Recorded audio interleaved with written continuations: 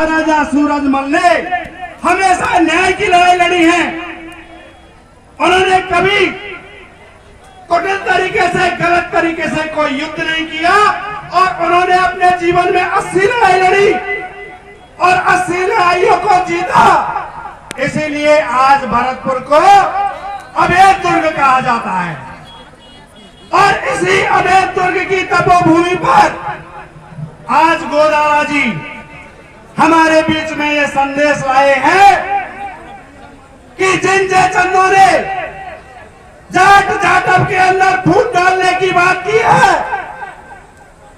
जाट जाटव को बिठाने की बात की है, आपस में लड़ाने की बात की है, हम सब एकजुट होकर के और उन लोगों को ऐसा सबक सिखाएँगे कि उनकी आने वाली सात पुस्तें भी याद रखेंगी।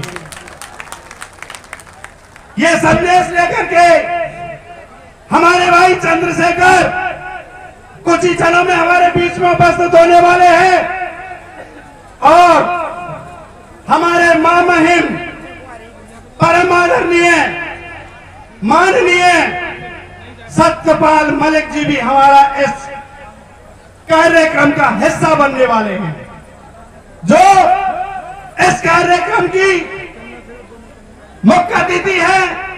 वो भी कुछ क्षणों में हमारे बीच में उपस्थित होने वाले हैं।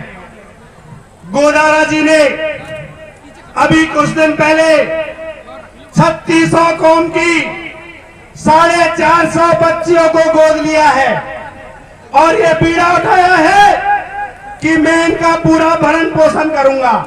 इनके अंदर ना जातिवाद है, ना कोई कुटिलता है कोई दुष्ट दुष्प्रभाव है। केवल है तो मानवता। और इस धरती पर ये मानवता का पाठ सिखाने के लिए पैदा हुए हैं। अब तक के जीवन में इन्होंने जो मानव सेवा की है, जो जन सेवा की है, पंद्रह वर्ष से तो मैं देख रहा हूँ और आप सब देख रहे हैं।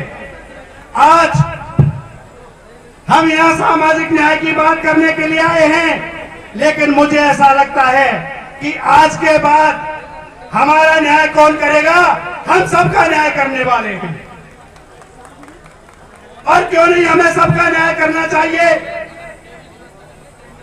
मैं गोलारा साहब के साथ पधारे पूर्व डीआईजी श्रीमान छोटू राम जी हमारे बीच में उपस्थित हैं। सभी, आपसे कुछ ही समय में आपके सामने होंगे और अपनी बात, अपने विचार और हम सबके विचार का जो पिटारा वो लेकर के आए हैं, कुछ समय का इंतज़ार कीजिए। अभी आपके सामने सब कुछ आने वाला है। जय हिंद, जय भारत।